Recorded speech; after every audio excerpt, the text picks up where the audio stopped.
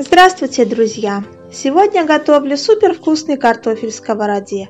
Готовится он быстро, а по вкусу не хуже фри, картофеля по-деревенски и жареной картошечки с корочкой.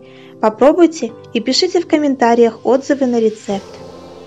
Картофель очищаем от кожуры, моем и перекладываем на сухую сковороду. Заливаем водой до самого верха. Накрываем крышкой и готовим до закипания воды. Когда вода закипит, немного подсолим, перемешиваем, накрываем крышкой и будем варить на среднем огне до готовности минут 15-20.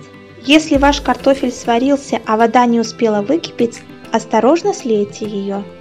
Теперь приступим к следующему этапу приготовления картофеля, который сделает его супер вкусным сковороду кладем кусочек сливочного масла, грамм 30-50.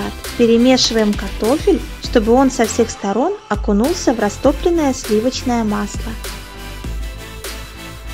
Обжариваем картофель на среднем огне со всех сторон до румяной корочки.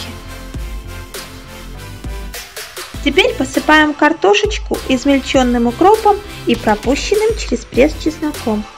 Перемешиваем, накрываем сковороду крышкой и держим блюдо на медленном огне пару минут.